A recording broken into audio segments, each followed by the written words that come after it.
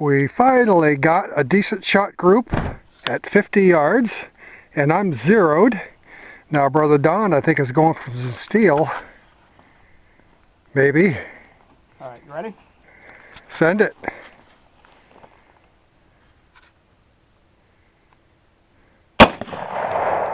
That's a hit. That's a hit. That's a hit. There we go. Our New Year's Day extravaganza. No, really, we've already been an hour with me just getting the 50 yard zero. And uh, now we're just going to have a little fun. And I forgot my tripod, so it's all handheld action from here. Again, with the Windham weaponry, sight ready carbine. These things are a pain in the butt. I'll do a review on that later. At uh, 7.62 by 39, the good guy gun that shoots the bad boy bullets. And I got a tub full of them. There they are. We got bullets. And I have one good mag. I have two ProMags in there that have feed issues.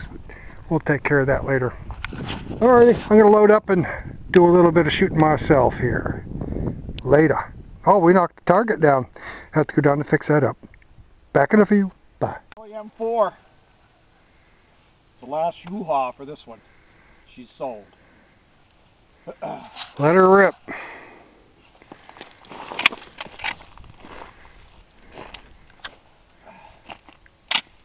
Oh. Alright,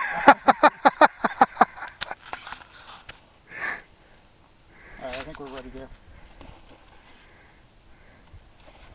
This is what happens when you don't train with your firearms. yeah.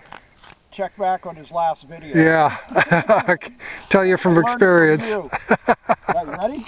Go for it. I gotta get uh, just gonna push me back a little. There we go. Woo! Baby! Trimming some trees there. Yeah, she grows up. Yeah. You see it? Yeah. Wanna give her hell? No, that's all right. Jeez, I forgot to look at the reset. You know what I mean? You just wanted to do a mag dump. Yeah. Well, anyway, I was going to go down here and show the results of the uh, sighting in, which took for freaking ever.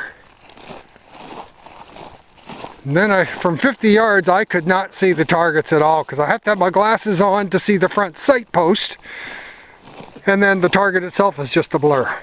So we did all of this stuff wandered all the way, and then I kept moving the the uh, uh, moving the sights in the wrong direction, and I finally ended up. I can't even see the screen on the camera right now.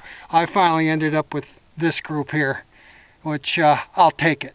That's uh, an inch and a half dot, I think the spot is. So I've got about an inch, two, two and a quarter inches for a group. One of them's a flyer. I'll take it. I'm ready for the red dot now. And uh, we've been uh, hitting the steel plates today and having a good time with that as uh, you saw in one of the previous clips. But I think that's going to wrap it up pretty much for the day unless we're going to find something else to shoot. One more time. That propane bottle. Oh, we got to hit the bottle. Okay. I think I might put a few more rounds in the uh, in the uh, AR here. Back in a few.